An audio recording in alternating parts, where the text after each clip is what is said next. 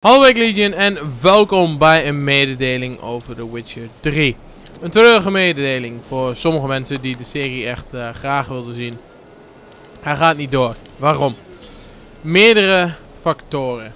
Um, ik zal zo meteen nog wel even een video bij invoegen van de laatste part die ik heb opgenomen. Um, ik was bij part 12 met het opnemen. En ja, dat was echt gewoon de druppel eigenlijk. Er zitten aardig wat fouten in de game. Um, waaronder het audio sync verhaal. Ik heb van alles geprobeerd, zoals jullie weten. Um, normaal neem ik op met Shadowplay. En met Shadowplay is de video twee minuten langer dan wat de audio is. Dus dat is een groot audio sync probleem. Dan kun je dat nog redelijk fixen door de video in principe te versnellen. Um, maar dan is het op ene moment is de audio 3 seconden uh, ligt het voor zeg maar op het beeld en dan loopt het 3 seconden achter. Niet te doen. Um, vervolgens heb ik XSplit geprobeerd, waar ik normaal mee um, livestream. Kun je ook mee opnemen. Als ik eerst XSplit opstart en dan The Witcher 3 weer opstart dus, werkt het spel niet eens. Doe ik het andersom, dus eerst The Witcher opstarten en dan XSplit, dan krijg ik wel de overlay in Dan denk je van, mooi, dat werkt. Je drukt op opnemen en bam, The Witcher 3 has stopped working. Gefucking weldig. En dat is elke keer zo. Toen was nog het laatste redmiddel in principe dat. Fraps. Um, want OBS werkte ook niet. En Fraps leek het antwoord te zijn. De video was even lang als de audio. En het commentaar was sync. En bij part 4 dat was de eerste part waar ik het uh, mee heb geprobeerd met Fraps. Daar was alles sync. De gameplay, de dialogen, alles was sync. Dus ik denk, yes, ik heb het eindelijk gefixt. Ik was heel blij. Maar, part 5 tot en met 9. Um, ja, hetzelfde probleem eigenlijk. Commentaar loopt overal sync. Is allemaal precies spot on waar ik het zei, klopt het. Maar de dialoog-audio is soms out of sync. Dan krijgen we een Bruce Lee-achtige effect, zeg maar, van I wanna fight. En dan drie seconden later gaat zijn mond nog steeds op en neer. En soms is het ook zo dat de gameplay-audio ook out of sync is. Dus soms is het alleen de dialoog. En als iemand een, een, een vuurtje aansteekt of zo, ik noem maar wat. Dan hoor je dat geluid gewoon precies spot on zoals het hoort, in sync. Maar was de dialoog-audio dus out of sync. En soms was het beide out of sync. En mijn commentaar was altijd goed. Dus dat was raar. Toen bij part 10. Um, omdat ik dus eerst... Ik dacht bij part 4 het probleem was gefixt. Dus ik had part 5 tot en met 9 had ik opgenomen. Um, en vervolgens ben ik dan gaan slapen. Part 10 ging ik opnemen. En um, voor die tijd natuurlijk even de video's gecheckt. 5 tot met 9. En je hebt problemen. Toen was ik pissig natuurlijk. Part 10 kwam ik erachter bij een dialoog um, in-game dat het gewoon in-game niet sync. Toen ik met die dude aan het praten was, was het echt net een Bruce Lee film. En als ik nou wel of niet aan het opnemen was, het liep gewoon niet sync. De dialoog niet met de mond. En ook niet met de acties. en ik, ja, mijn stem is nog harder naar de kloot, want ik heb net echt hard geraged. Dat zul je zo meteen nog zien, dat bewaar ik een beetje voor het einde.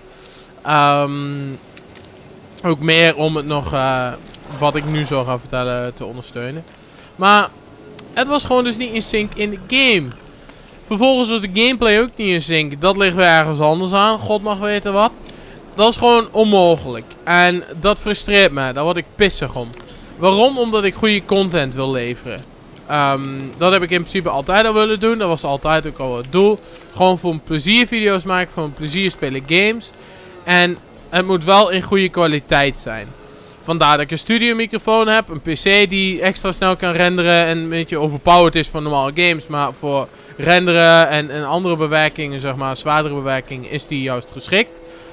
Um, dat allemaal om betere kwaliteit te leveren. En als dan een audio sync probleem optreedt, is dat kut. Dat is geen goede kwaliteit. En als het dan ook nog niet aan mij ligt, maar aan de games, zoals met de dialoog, ja, dan word ik echt pisnijdig. Dan heb ik echt van de eerste nacht, na het opnemen van die eerste twee parts, en eigenlijk, ik heb echt een kort nachtje gehad. Ehm, en dat merk je op zich ook in de part, want echt praten kan ik haast niet. Uh, soms dat ik echt dingen verkeerd doe en eigenlijk, uh, en, dat komt gewoon omdat ik oververmoeid was. Ik had toen al iets van 20 uur, um, toen ik bezig was met ik was al 20 uur wakker toen ik bezig was met part 1. Um, ehm, vervolgens heb ik een nachtje gehad van 3 uur ongeveer. En ben ik vervolgens weer verder gaan met opnemen. Um, puur omdat ik wakker werd. En uh, ja, het was gewoon een, een ramp qua dat. Um, maar dat doet er verder op zich niet toe. Maar dat, ik ben er de hele tijd mee bezig geweest om het te fixen. En dan is het probleem ligt gewoon bij de game zelf. En dat is echt frustrerend. En jullie weten dat de, de, de, hele trouwe subs, die al heel lang uh, kijken ook, die weten ook als er iets is in een game wat ik haat, is als de game niet meewerkt. Tuurlijk, het is heel makkelijk om de game op de kop te geven, zeg maar, dat iets niet werkt. Dat is het simpelste wat er is in principe. In plaats van een probleem bij jezelf te zoeken. Mee eens. Maar als er overduidelijk bewijs is dat de game niet werkt, dan ligt de fout niet bij mij. En bijvoorbeeld de Witcher 2 livestream. Toen moesten we een of ander monster verslaan. De kraker was dat volgens mij. Um, ik liep op zo'n zo'n brug links. Ik denk, nou, hier moeten we naartoe. Dan kunnen we op zo'n kop springen. We stonden bovenaan en er gebeurde niks. Ik denk, oh, nou, dan ben ik fout bezig. Ga je andere manieren, manieren zoeken om het te, voltooien, zeg maar. Bij je 15 minuten bezig. Nou, heeft iemand het opgezocht in de comments. Omdat we echt gewoon niet verder kwamen. Um, die heeft dan opgezocht en geplaatst in de comments van... Nou, je moet wel daar naartoe, naar boven. Ga je er weer naartoe. Je loopt een meter verder naar links, krijg je een cutscene. En dat was dan ook bij de Witcher game. Um, maar dat is zo frustrerend. Je weet wat je moet doen, je doet het goed, maar de game werkt er niet mee. En datzelfde gebeurt in The Witcher 3. Niet zozeer met cutscenes, maar met het vechten. Um, als ik aan het vechten ben, je kunt blokken met je zwaard. Um, je kunt dodgen met alt en met spatie. En als ik dat inrag, we lopen zeg maar en ik, ik druk op spatie om te dodgen. Nou, hier springt hij dan. Maar af en toe dan springt hij gewoon niet. Dan, dan, zoals nu ook zeg maar. Dan staan we dan met paard in de buurt en dan springt hij wel en dan niet. En hier springt hij op een klein hekje wat je zo meteen gaat zien um, in de video van part 12 in principe. En ik ben gewoon verder gaan met opnemen. Ik denk nou probeer het wel.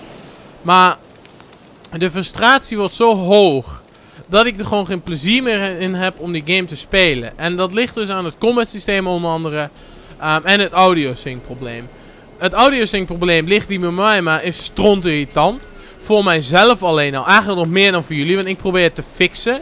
Ik zie het als een probleem dat bij mij ligt, zeg maar. En ik probeer te fixen. Jullie hebben er in principe alleen last van in een video. Dat het iets out of sync is. Het is nog niet extreem dat het echt 5 seconden achterloopt. Maar voor mij is het in principe nog kutter. En als dan ook nog het combat systeem niet meewerkt met het slaan en dergelijke. En uh, ja, serieus, wat je zometeen zult zien. Ik kan niet eens over een klein kuthekje heen springen. Tijdens combat. Ik weet hoe het moet. Je moet niet in een grote groep staan. Je moet ze één voor één elke keer pakken in principe. Um, je moet je, je spel gebruiken. Nou, in dit geval had ik dan um, aard gebruikt. Zodat ze op hun bakjes flikkeren. En dan ligt op een gegeven moment een dude op zijn bakjes. En dan wil ik er naartoe lopen en dan loopt Geralt niet. Ik druk op W, zo hard als ik kan. Maar hij loopt niet naar voren. En dan drie seconden later, oh, dan loopt hij ineens naar voren. Dat zijn echt momenten dat je zo pisnaardig wordt. Dat je echt zin hebt om je toetsenbord als honkbal te, gebruiken, zeg maar. En je muis als een daadwerkelijke bal. Om hem gewoon kaart weg te slaan tegen een muur. En vervolgens je hele toetsenbord aan god te slaan. Puur omdat het zo frustrerend is. Dat het ligt niet aan het toetsenbord. Het ligt niet aan de maas. Dat, die dingen samen zijn 300 euro. En zijn goed. Je kunt alle toetsen. Het is geen, geen toetsenbord van 10 euro, zeg maar, waarbij je maar twee of drie toetsen tegelijkertijd in kunt drukken. Het is een toetsenbord waarbij je volgens mij alle toetsen tegelijk in kunt drukken. En op zijn minst iets van 10 of zo. Dus daar ligt het niet aan dat als ik aan dodge ben aan het lopen naar links en rechts en dan ook nog spatie wil gebruiken, dat zijn vier toetsen. En reken de muisslag erbij of zo, dan zijn het er vijf of zes, maar dan nog. Daar ligt het niet aan. Het ligt niet aan ghosting, het ligt nergens aan. Het ligt aan de game. En dat dodgen werkte de, de ene keer wel, de andere keer niet. Het slaan werkt de ene keer wel en de andere keer niet. Het blokken werkt de ene keer wel en de andere keer niet. Dat zijn... Dat heeft niks met mij te maken. Dat ik, ik doe vast wel eens een keer wat fout. Logisch. Maar als ik weet hoe het moet. Dodgen. één voor één aanpakken. Spels gebruiken zo gauw als je kunt. En in beweging blijven. En ik doe dat. En toch werkt de game niet meer. Omdat hij gewoon niet dodgt op momenten zoals het moet. Dan ligt dat niet aan mij. Dat ligt aan de game nogmaals. En dat levert zoveel frustratie op dat ik gewoon zeg, fuck it, ik speel hem niet meer. Ehm, voor de mensen die de serie heel graag willen zien, ehm, en echt zaten te wachten op de game en niet puur kijken zeg maar, omdat ik een nieuwe game speel, wat sommige mensen ook doen, wat ik heel lief vind van jullie allemaal. Ehm, maar voor de mensen die echt de game willen zien, om de game zelf, raad ik je aan om bij Denaden te kijken. Denzel is dat. is, in principe een beetje hetzelfde als mij. Qua karakter, qua alles wel. Um, denkt over de games op dezelfde manier, qua belevenis en dergelijke. En bij hem werkte Witcher 3 wel goed, wat ik begrepen had. Hij speelt natuurlijk op console, hij speelt op PlayStation 4. Um, ehm, maar bij hem werkt volgens mij tot nu toe de game wel goed. Ook qua audio problemen heeft hij niet, zeg maar. Er zullen vast wel wat probleempjes zijn, maar niet zo extreem als het bij mij is. Um, dus als je de serie wil kijken, raad ik je aan om bij hem te kijken. Ik zal een, uh, een link naar zijn kanaal of naar zijn eerste video, ligt er net aan wat, uh, wat er al is. Maar dat zal ik in de beschrijving zetten en dan raad ik je aan om, uh, als je echt de serie wilt zien, om bij hem te gaan kijken.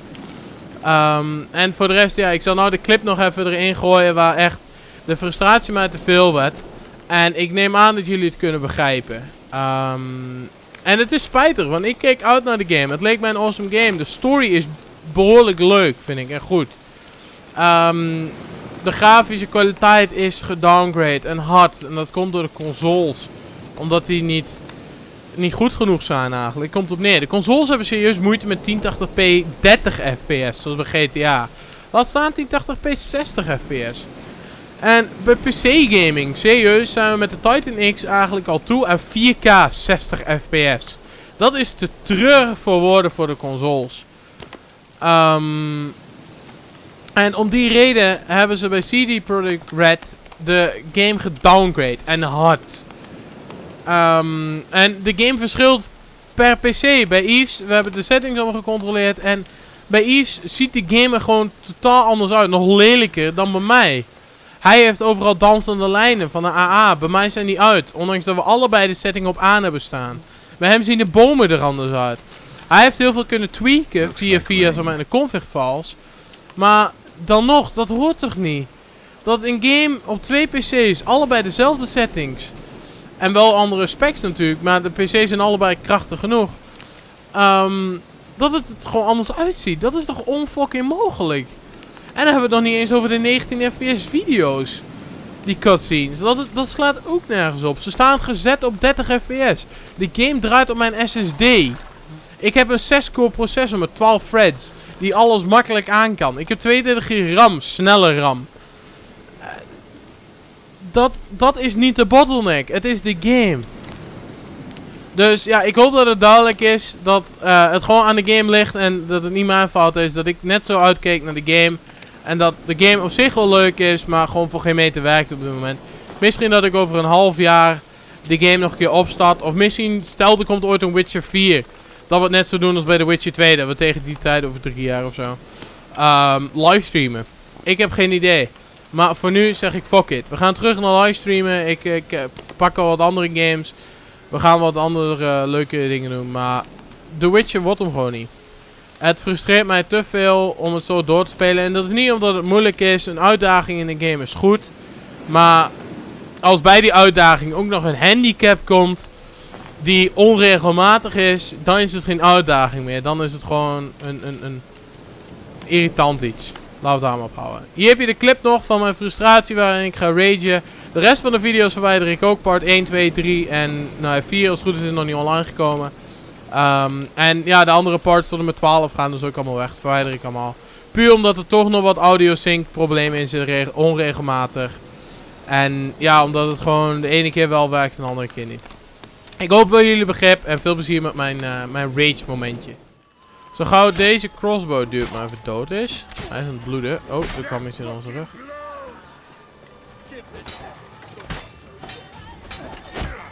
Ah, die andere crossbow dude moet ik even dood. We gaan even voor uh, Aad. Steek hem neer! What the fuck, hij lag op de grond. Doe dan niet, Switcher. Ah, die man is ook dood en hoe ook. Nou, de rest nog. Maar die man is ook dood. En wat ik nu... Oh, kut. Wat ik nu nog wil gebruiken is uh, het blok ook. Auw.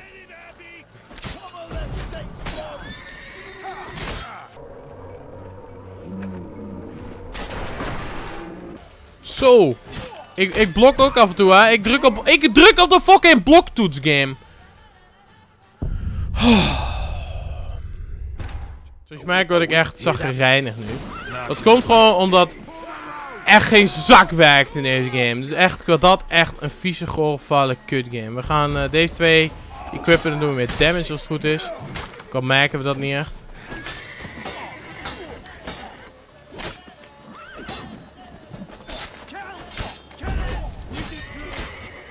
Kijk, is dat... Oh, komt er weer een andere homo hoor. Ik wil die crossbow dude dood hebben, dank u. Dodge en weave. Uh oh. Spring. Doe Spring over dat fucking hek heen. Gehandicapte kut, jongen. Oh. Springt gewoon niet over een fucking hekje heen op knie fucking hoogte. Dat is toch ongelooflijk. Oh, snel. Loop dan, hè. Die gastoel. Fucking hell. Die gast ligt op de grond. Ik druk op W, ja. En die gehandicapte kut, die doet gewoon helemaal niks. En dat was dus mijn uh, mooie range momentje. Uh, bedankt voor het kijken. Bedankt voor uh, nou begrip hopelijk, zoals ik zei. En ik hoop jullie weer te zien bij de livestreams morgen. Om 2 uur tot 5 uur. En van 7 tot 10. Laters.